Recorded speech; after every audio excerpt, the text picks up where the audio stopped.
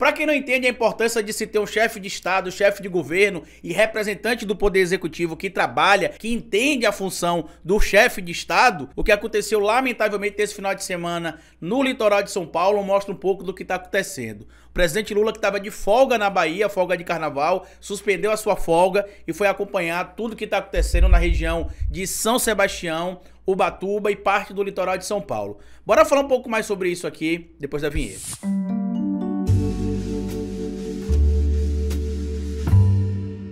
Pois bem, meu povo, antes de seguir esse vídeo, eu queria pedir a você que deixasse like no começo do vídeo, porque se deixar lá pro final você esquece. E queria pedir a você também, se puder colaborar com o nosso trabalho, que seja membro do canal, apoiador. É uma maneira que vocês têm de manter o nosso canal existindo aqui de forma independente. E se puder colaborar de outra maneira, colabore com o nosso Pix. Pix do canal é esse que tá passando aqui, você pode colaborar com quanto quiser, se quiser e se puder. Todo mundo tá acompanhando o que tá acontecendo no litoral de São Paulo, em, especificamente em São Sebastião e Ubatuba, onde 35 pessoas perderam perderam a vida até o momento que eu tô gravando esse vídeo para vocês aqui. Inclusive, lamentavelmente, também uma criança, né? Toda vida é importante e quando é uma criança a gente sente ainda mais. E o presidente Lula, que tava de descanso na Bahia, tava de folga de carnaval, suspendeu a folga e nesse momento tá sobrevoando a região litorânea de São Paulo ali, da região especificamente de Ubatuba, é, é, é, é, de São Sebastião e outras áreas ali do, do, do litoral de São Paulo, para poder tomar atitudes para impedir que novas situações como essa aconteçam. E o que se levantou na internet, né, muito o debate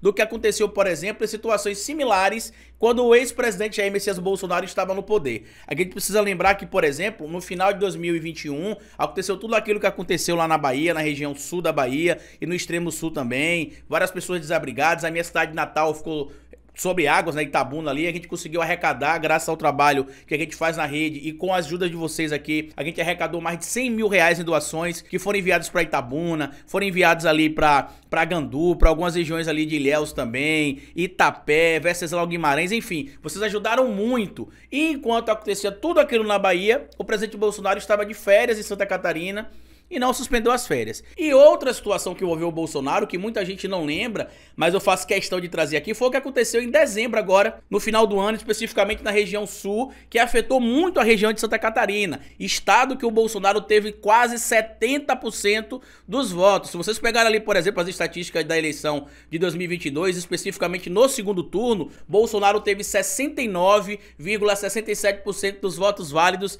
em Santa Catarina. E você acha que ele foi lá visitar os seus eleitores, compatriotas ou patriotas na situação que eles estavam passando? Não, porque o Bolsonaro só sabe, só sabe chorar por ele mesmo, como diz inclusive várias matérias publicaram na época. Então é importante a gente entender o que está acontecendo, porque não se mistura óleo e água, tá bom, gente? Um governante deve agir exatamente como o presidente atual tem feito, prestar solidariedade ao povo, pensar em políticas públicas para evitar que tragédias como essa voltem a acontecer e que essas pessoas tenham uma qualidade de vida e voltem a uma normalidade. Claro que a, o trauma vai ficar, evidente evidentemente, mas volte a uma normalidade mínima. E a matéria que está aqui no portal Metrópolis traz aqui, por exemplo, uma informação do bombeiro, né, que eles estimam que cerca de 40 pessoas estejam nesse momento soterradas no, na região litorânea de São Paulo. 35 pessoas, lamentavelmente, já perderam a vida, entre elas uma criança de 7 anos de idade em Ubatuba. O governo do estado né, de São Paulo declarou, né, decretou estado de calamidade pública nas cidades de Ubatuba, São Sebastião, Ilha Bela,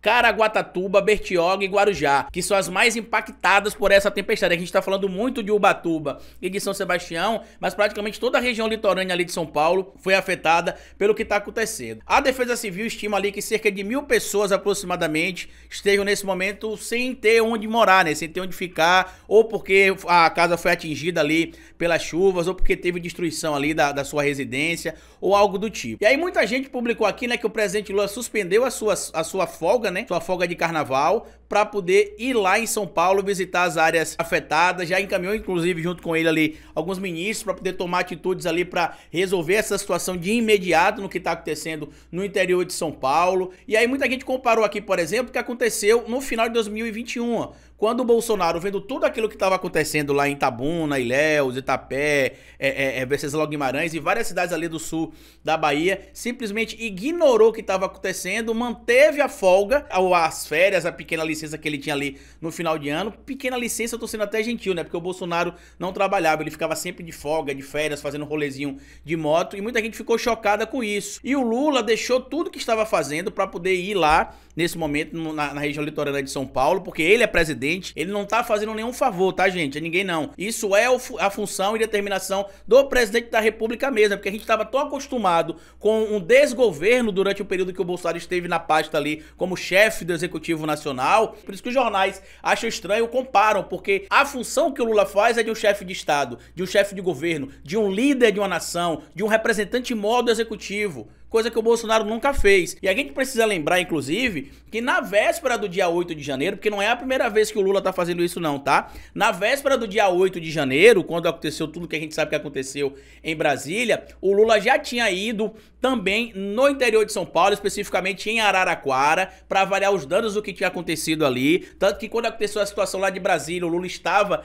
em Araraquara, foi visitar a cidade de Araraquara, viu o que, é que poderia ser feito ali, atuando como chefe de Estado. Eu vou frisar isso aqui por diversas vezes. Carlito, o que é que você acha que vai acabar acontecendo a partir de agora? Primeiro, o governo precisa pensar políticas públicas para evitar que isso aconteça. A gente está passando por um processo, gente, de reestruturação do Brasil tanto no cenário nacional, no que diz respeito à, relação com governos estaduais, prefeituras, porque muito disso que está acontecendo foi rompido ali, é, graças à falta de, de, atuação do Bolsonaro quando ele era presidente da República. E o Brasil também está ampliando de novo a sua conexão com o mundo, nas suas políticas globais, né, as suas políticas internacionais. Mas eu queria ouvir a opinião de vocês. O que é que vocês acham do que está acontecendo aí? Vocês realmente acham que dá para comparar? É óbvio que não dá, né? Mas eu queria ouvir a opinião de vocês aí. Pedi que vocês mandassem esse vídeo para o máximo de pessoas pessoas. Eu tô tentando contato com alguns amigos que vivem no interior de São Paulo, naquela região, para ver se a gente consegue organizar alguma campanha aqui, utilizar nosso canal para divulgar algum meio oficial lá. E se vocês já sabem de algum meio oficial, manda aqui na descrição do meu vídeo também, ou lá no meu Instagram, que aí nos nossos próximos vídeos a gente vai colocando aqui pra gente ajudar os nossos irmãos de São Paulo também, porque o país é uma só nação. Enfim, tudo que eu disse pra vocês vai estar tá referendado aqui no primeiro comentário fixo, com as fontes de onde eu tirei o que eu falei aqui. E no mais, como eu sempre digo pra vocês aqui no final de cada vídeo, vídeo, é melhor escrever errado a coisa certa